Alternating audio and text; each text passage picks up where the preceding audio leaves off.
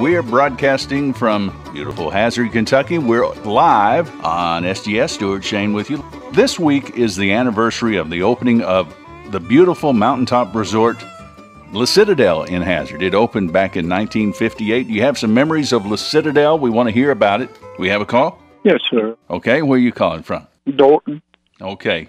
Dorton, now you're far enough away to uh, make me wonder if you've ever heard of La Citadelle in Hazard. No.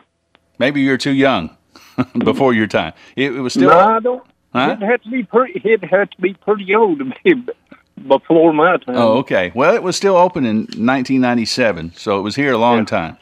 I always like to talk to the long distance listeners uh, about you know a place like La Citadelle because it, it's amazing. I ran into somebody in Lexington, and that's the only thing they could relate to. Me being from Hazard was La Citadelle.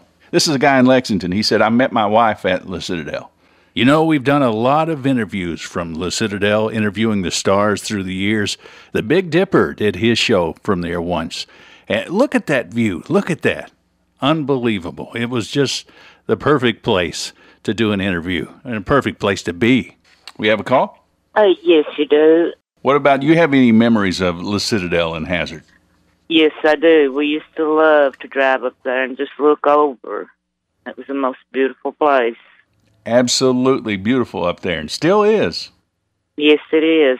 Okay. Beautiful. Thank you. Thank you. Close with a fun fact. At La Citadelle in Hazard, the bar downstairs was known as Oliver's, named after Oliver Hazard Perry.